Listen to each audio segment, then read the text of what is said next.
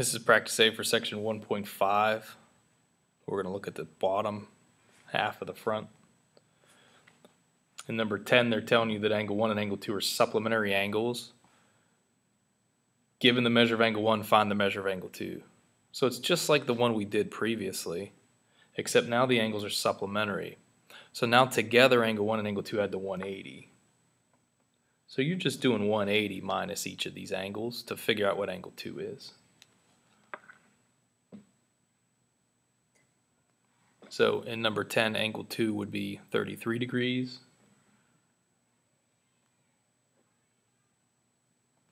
Number 11, you'd have 86.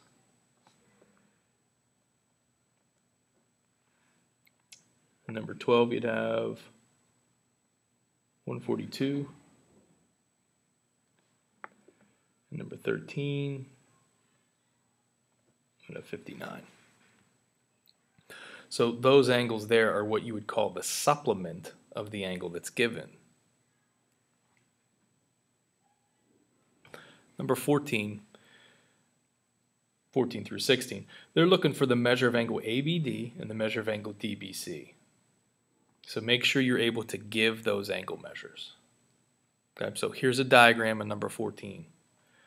I see a straight angle, I see a right angle, and then I see two angles over here that are next to the right angle.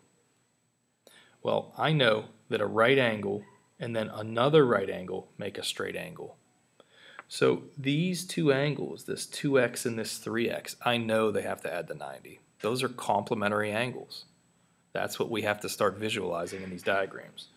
So 2x and 3x together must equal 90.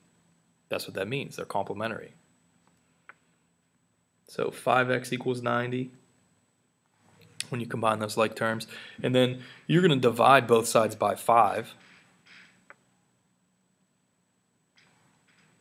and you're going to get x equals 18, which is good. But they didn't ask you to find x. They asked you to figure out what these angle measures were. So 2 times x, that's 2 times 18. That gives you 36. 3 times 18 gives you 54. Now, you know that you're right because together these add up to 90.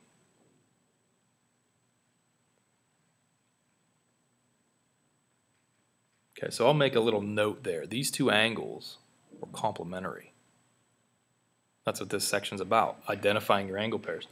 So in number 15, look at these two angles here. What's their relationship?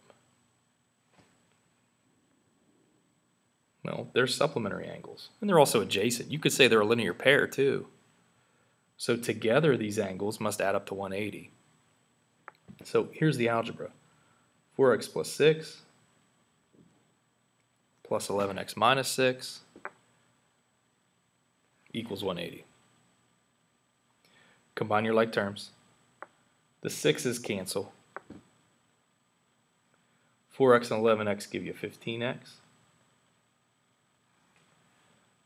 Okay, now how many times does 15 go into 180?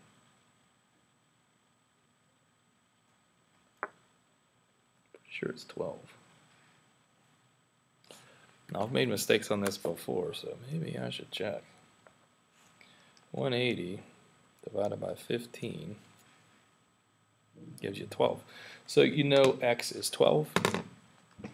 And again, x isn't what they're asking you for. They're asking you for the angle measure, so you better plug back in. Okay, so I'll just show you on the calculator how to do that. That way I'm not thinking real hard here either. 4 times 12 plus 6 gives you 54. 11 times 12 minus 6. That gives you 126. Those are your two answers. Those are the angles they wanted you to find. Now, how do you know that you're right? These angles add up to 180. And that's what we said from the beginning. They had to be supplementary.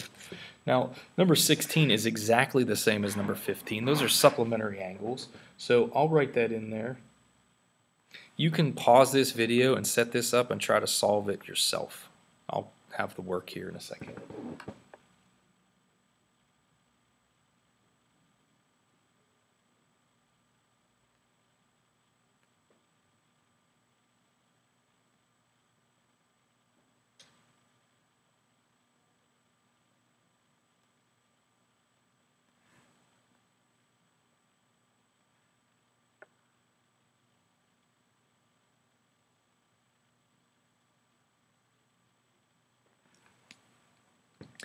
You should solve for x to be 10, and when you plug back in, you should get 101 degrees for your obtuse angle, and then 79 degrees for your acute angle. Okay, last section here, we're going to use the diagram below to tell whether the angles are vertical, a linear pair, or neither. Okay, so if you're not sure, let's just look at angles 1 and 2 right here. See how they make this line? That's a linear pair. Angles 2 and 4, they're made by these two lines, and they're not next to each other. That's an example of vertical. Okay, so angles 1 and 2 we said was a linear pair. Notice how I'm just using an abbreviation there. Angles 1 and 3, those are vertical. Angles 2 and 4, those are vertical. They're across from each other. They're non-adjacent angles made with two lines. Angle 3 and angle 4 are a linear pair. Angle 5 and angle 6 make this line. That's a linear pair. Angle 5 and angle 7, they might be supplementary angles. That's obtuse, that's acute. They could add up to 180, but they're not a linear pair if they're not adjacent. So I'm definitely saying neither on this one. Number 23, we have angle 6 and angle 8. Same concept. That's acute, that's obtuse. They could be supplementary angles, but they're not adjacent supplementary, so they're not a linear pair. Angle 7 and angle 8, that's adjacent angles. They definitely make a line, so they're adjacent supplementary. That's a linear pair.